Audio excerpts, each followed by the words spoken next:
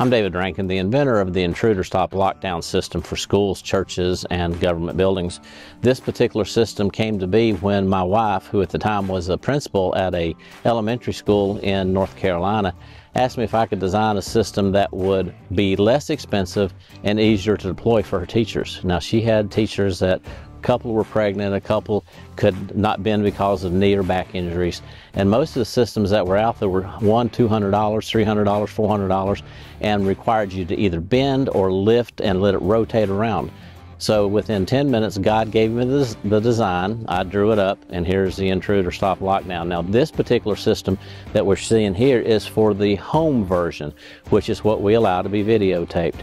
To deploy it, you simply step on it and you're locked. We had SWAT come in. They took 11 impacts to destroy the door. They did not affect the lockdown system at all. To get out from inside, that's all there is to it. This system contains a spring-loaded ball that holds it in place, ready to deploy at a moment's notice. So if I'm in a school environment, the teacher closes the door, they step on the device, you are secured in under a second.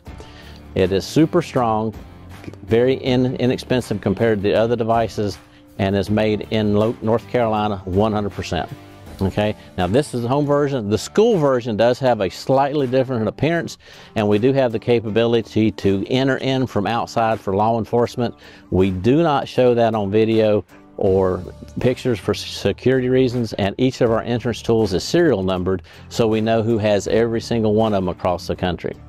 The intruder stop, lockdown, and lock system. Intruderstop.co or you can call 704 400 9449.